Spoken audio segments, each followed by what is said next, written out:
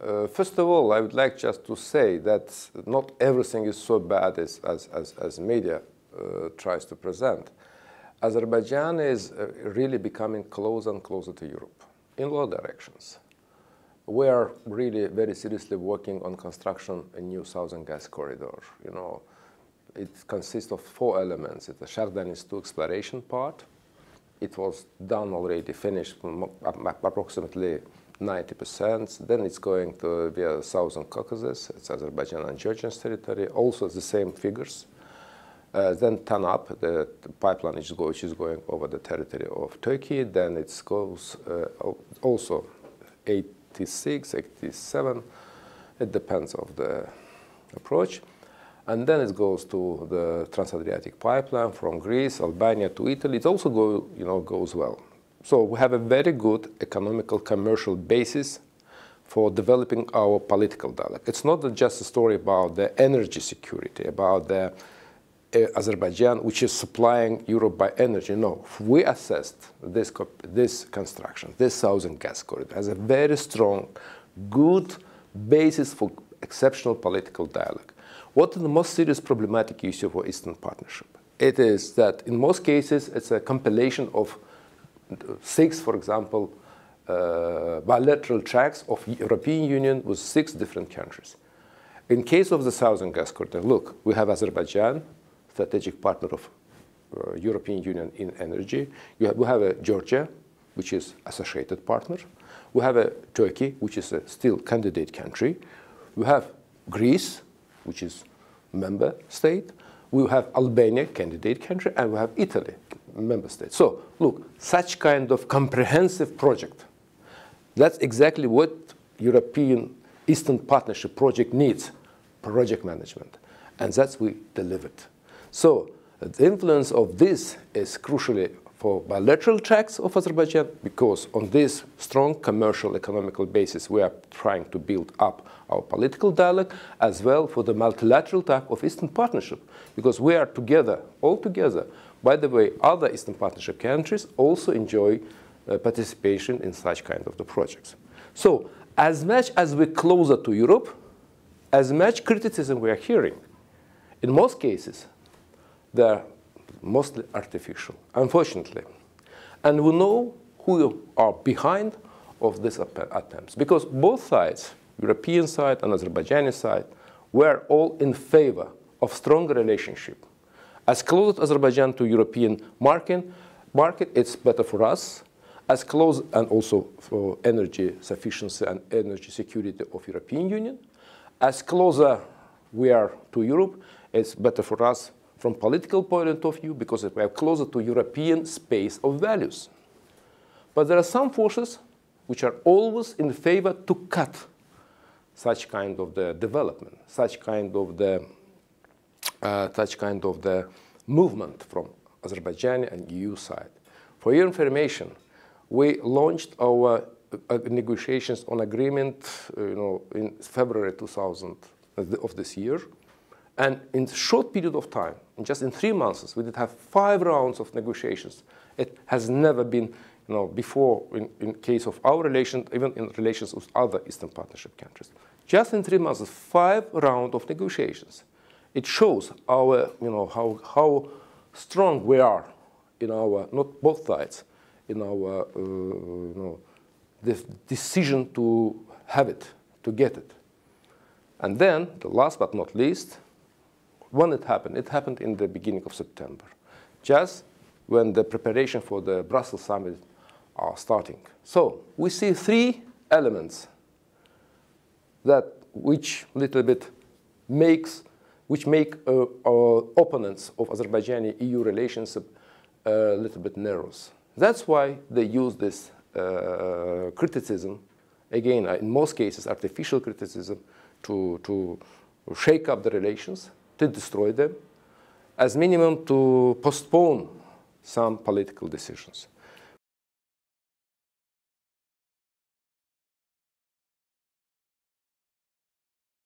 The laundromat, what does mean laundromat? It's absolute artificial fake you know, name. Just one example. We sent our press release to Belgium media. It, was, it appeared in Belgian media as well. They put the number 1 million or 300 uh, thousand euros of transactions from offshore zones. Excavators, medical equipment, some uh, infrastructural equipment, some equipment for dentists, I don't know, you know, jewelry, you know, and a lot of things have been bought by Azerbaijani uh, consumers from Belgium side, but it was done by offshore zones, which is a part of European Union market, by the way. It is the offshore zone which was, which, why Azerbaijan and other country, newly independent countries, they use it? Because we do not have direct free trade zone with uh, our European partners. And for our companies, in persons who are buying them, in some cases it's better to use these uh, transactions than, for example, to, uh, to, to wait for special uh, procedures which, uh, which, are, which should be done in case of European Union. We hope that a new agreement will give us a new opportunities for our trade, for direct financial cooperation. But nothing criminal was done in case of, uh, for example, again, one case, because I am ambassador also to Belgium, in case of Belgium, nothing. No any transaction has been spent for, I don't know, terrorism, I don't know, corruption or, or, or, or drugs or any criminal uh, spheres of activity. But it was presented as a money laundering and especially created such kind of artificial definition. It shows that this, when we gave this, uh, you know, this, our press release, it was published, and nobody came back to this issue again, because it was true. I think we can find a lot of such kind of uh, uh, uh explanations. And uh, if you ask me why I think that it's most artificial, just give you the you know, logic and dating of what happened. 5th of September, the first article in Guardian, uh, signed by uh, Armenian journalist, was a huge criticism with this laundromat wording. Then, a few days after, again, a new article with the same media with a huge criticism of uh, Southern Gas Corridor, Trans-Adriatic Pipeline. Then immediately reaction of European Parliament, without which, without any clarification, put very critical, even insulting wording in the resolution about the human rights and corruption in the world, whereas only the name of my country was mentioned. Imagine, there are 193 members of U United Nations, and this report was totally about all the world, and the name of one country was mentioned in amendments, which was adopted by very, very minor majority of European parliamentarians. It shows that it was artificially done. And there are some forces who are against of Azerbaijani strong intention to be, to be closer to Europe, to work with Europe, to be the part of European space of values and European market.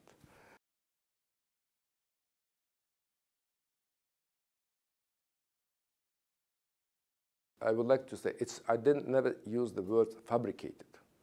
Uh, they used, you know, the, some real transaction, presenting them as something as a, money laundering. I, I, think it's, it's, not, it's not correct approach because, for example, in the, in the media which I saw here, uh, being as ambassador to Belgium, I saw a lot of pictures with uh, pictures of a member of government, and it, it was presented as a governmental case. But it was done. Transactions have been, done, have been made by, by persons, by companies, just to buy something, to sell something, for infrastructural projects, for another. It, it was just the transactions, like financial transactions, nothing connected with, a, uh, with a, uh, you know, money laundering procedures.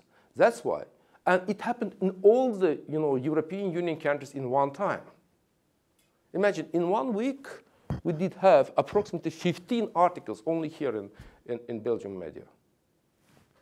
What, what kind of, you know, can, you know, is it, you know, suspicious that it is orchestrated or, you know, I do not understand. Maybe it could be done for, for a long period of time. But for me, it's really absolutely clear that it was orchestrated orchestrated from one center. And there are some forces who are behind of these processes. Again, they can do everything they want. We understand that as much as we're closer to our European partners as more, how can I explain, uh, such kind of steps will be done against this closer partnership.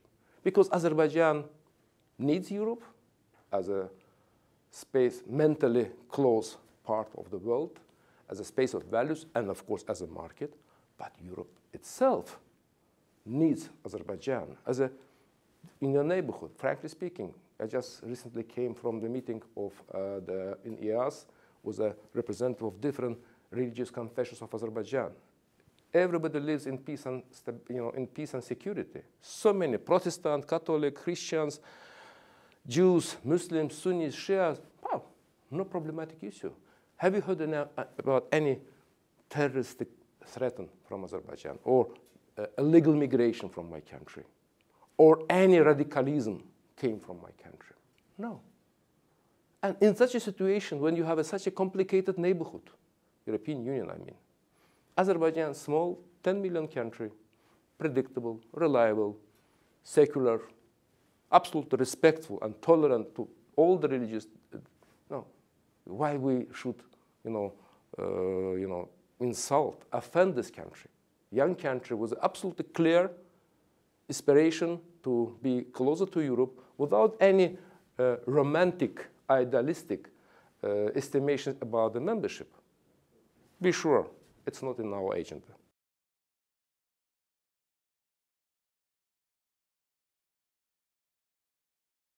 One example, and you, it will be, everything will be clear. From 2009 until 2017, European Parliament adopted nine exceptionally critical resolutions about my country. What do you think? Does it mean that we are lobbying successfully? They blame that we are lobbying there. If we are lobbying, we do, should have something in our hands, yeah? But instead of it, we have nine critical resolutions. Just for information, just few about other Eastern Partnership countries and zero about, for example, Armenia. Nothing. But nine critical. About what kind of lobbying we can talk about if we have nine critical resolutions in European Parliament just in these eight years, every year, even more. So, you know, it's not true. It is not true. We have some, sometimes we have a, some you know, advices from our friends. We need some advices because we're a young country. We're just 25, 26 years old. Excuse me, what kind of lobbying we can talk about? If we have a such kind, in European Parliament, if you have such kind of, you know, uh, uh, critical, such kind of number of critical results. We're number one among Eastern Partnership countries. So do you think that we, though it's an absolutely artificial approach. That's why I am sure about it.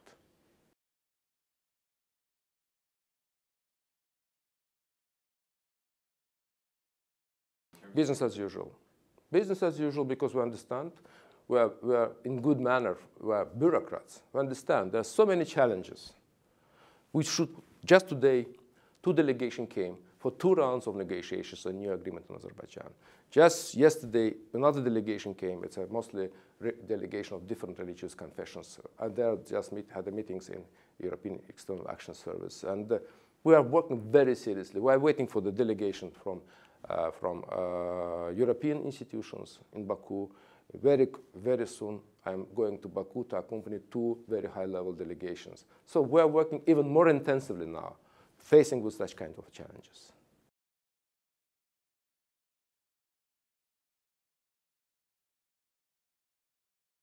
You know, it's a, it's, it's, it, it, depends what kind of, what kind of uh, uh, leakage we are speaking about. Again, it's, it happened with all the uh, countries all over the world. You can see, it, it's not a story about only my country. When, but the, the question is, when my country was highlighted in this case, because we do have something in our, uh, you know, some achievements in our economical development, yes, most probably. We are really very a strong in economy. Of course, nobody would like to talk about the poor countries, about any, any uh, you know, economical activity of the poor countries. But in our case, we are really economically one of the most successful countries uh, in, in, in Eastern Partnership and in the former space of former Soviet Union. So second option is that, uh, again, why it was uh, uh, highlighted now? Because, again, we're going to the new level of uh, relationship. As I would like to, we're approaching, I would like to say this word very clearly.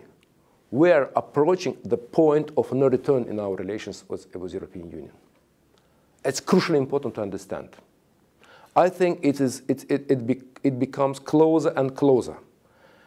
We didn't, we haven't passed this point of no, no return yet, because it's mostly not only political dialogue, but also commercial, energy, transportation routes. Look, you know, what is the, one of the best ways for uh, the connection Asia and Europe? The shortest and safest way is over the Southern Caucasus. What is the best uh, way for, uh, you know, more active cooperation between you know, uh, European Union institutions and such a complicated region as, as, as which, is, which is surrounding my country. My country, as a, we, we can, we, because we do have, not, I don't want to use influence, but we do have some renommee in the region. We have good relations with Central Asian countries, normal, very predictable, and ongoing relations with Iran, which is especially important for our European friends, which tries to engage Iran in implementation of the nuclear deal. We have very normal relations with Russia without any new headaches for our European friends. I don't think European friends uh, need such a kind of new headaches. We do have some problematic issues. The occupation of our territory. And we understand there are some forces who are occupying and who are behind of these occupations.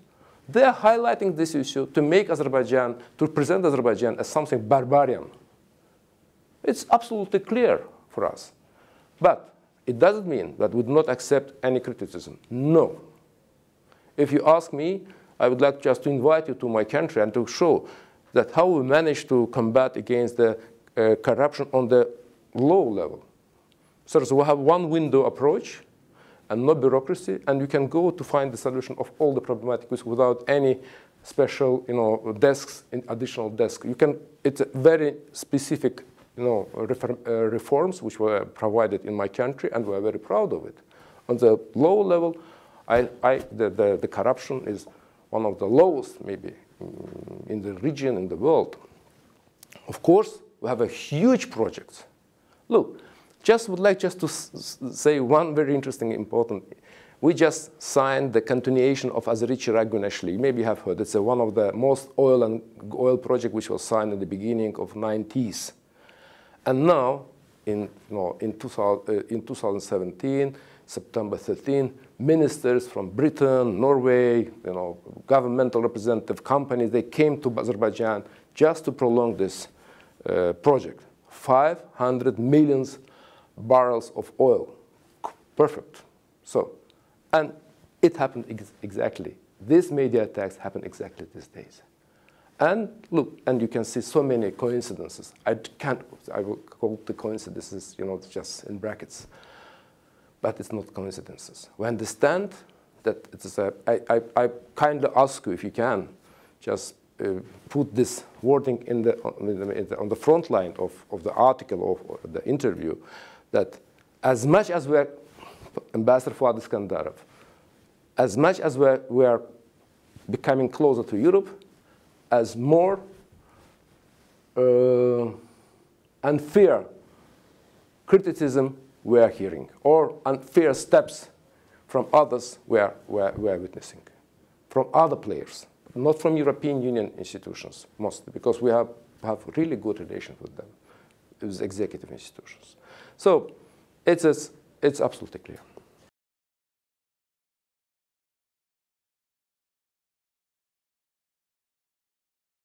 They would like to create the image of so-called image of Azerbaijan, uh, I mean these forces, as a so-called Muslim barbarians, which are absolutely not fitting with the European values. And what, what does it mean? It means that with this such kind of the country, European Union can, can't, you know, work, even negotiate at all. Very strange. We are a very secular country. If you will go to Baku, it's a very European city, absolutely uh, no, you know, uh, but, uh, but why they did it? The second reason is we're in war now. And we have an ongoing negotiation based on principle of and norms of international law with Armenia. Okay, international law that's in favor of independence, sovereignty, and territorial integrity.